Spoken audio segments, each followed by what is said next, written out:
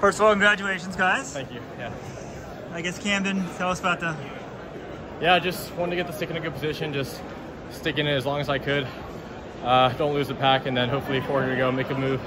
Uh, try to put myself in at that last 150, but just came up a little short. Coming in turn, you think you had him? I thought I did. I made that move. I think maybe too much on the turn, um, but I thought it was a good time. Felt right. Felt like I was making momentum, so don't think I would have changed that. But yeah, props to him. Had a great race. You were the 800? 12. 12. Yeah. So great lead off leg. Thank you. Yeah, yeah, thanks. It was uh, Was that the plan? it was a dogfight. I mean, the plan is to always put my teammates in the best position possible. I think every one of us des- thinks we deserve to be in an individual event, but the fact that we were able to come here, show out in the relay, I think put Georgetown a little bit on the map. And we had two guys in the individual race. We just want to represent them, represent our teammates, and just give it a dogfight out there. Yeah, I don't think many people were expecting you guys to win. Yeah, I mean, I, I think Almost did. I think we thought of ourselves. One of those expectations or no one doing research? Well, maybe a Not research. enough research done. I think we, we read knew we had a art ca- free for you, yeah. we knew we were capable of uh, competing for the win, and I think we just competed the way that way, and it kind of showed on the track. Matthew, to that point, the, uh, the fact that you guys knew that, that you- you were going to have the capability to put out this line, like a lot of teams that qualified with those teams, were not going to run those teams, right? Yeah. I mean, and you can't worry about them, but like you guys knew that you were going to come, you know, with uh, with, with the best possible scenario, right? Yeah, absolutely. I mean, we train with the guys who competed in the individual races, and we train every day because it's, we just work hard. So I think that's all we can focus on is just training the way we do in, at practice, and then coming out and see who's on the track. And if it's not the teams who qualified, then it isn't.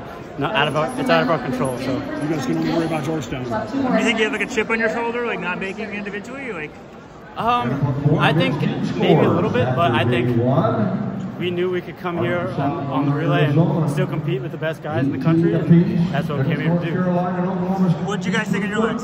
Harvard, Kentucky, check. No, I think you know, it was a great leg. I mean, much my job particularly with the 400 was just to make sure I got uh, the time in their hands in a good position, and I felt like that's what I did. You know, got in front of a couple of guys, so I'm glad I was able to do that. But all, all the while, everybody competed, and so I'm glad we were able to come out in a good position. And what's it like, you know, 400 guy, you get the, you're like a distance guy for like indoors. Like, is it a different I, I won environment? the- I won the 60 and the two, so this Yeah. is super different for me. But I mean, whenever I'm called up, like he said, we everybody trains regardless of the people who qualified um, for the uh, for nationals. So whoever was called up, we're gonna perform regardless. So that's what I came to do. NCAA runner up now. Yeah, for sure. Like Tim? Uh, pretty good. I mean, I showed a couple of them. I made a little spreadsheet myself going in on who all the 800 legs were, and I knew in my head that I was the best going in. I, I think I was the fastest split today. A little bummed. I, I think I could have gotten the Virginia Tech guy, maybe give me Cam a little better spot. But I mean, like you said, chip on the shoulder. I, like Matt and I in the eight, I think we're both talented enough to win the eight individually here today, and we missed it by a little more than a tenth of a second. And I think, like you said, that's a chip on the shoulder coming into a race like this against the best teams in the country. We think we're the best, and we want to race like it. So. It seems like the depth at NCAA is much bigger.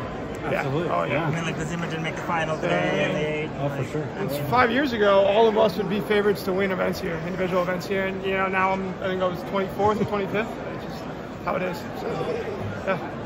All right. Camden, uh, did, uh, did you did you guys di- uh, digest any any of that uh, that race uh, last year in, in Albuquerque? I mean, knowing that maybe Oklahoma State's you know first three would be different, but Schoppe was going to be there. Yeah, see, seeing Ryan out there on the anchor, I was like, just be ready to go anytime. I heard someone on the first turn go, stick it to him, Ryan. And I was like, oh man, like, I don't know when, but it's gonna happen. And if I get stuck behind Virginia, I got a lot of ground to make up. So I just honestly had my eyes on him the whole time. Kind of like when you're in a traffic and you see two cars ahead. Um, so yeah, I was just like stick on him as long as I could. But the fact that it, it opened up enough, I mean, did you feel like you had the freedom of movement? that took you like two to? peeps at the um, at the screen, and I saw we were spreading it out a little bit.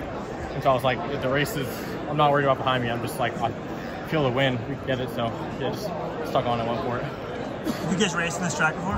What's that? Have you raced here before? No, not in the New Balance, New Balance track, but been up to Boston like two or three times indoor. Yeah.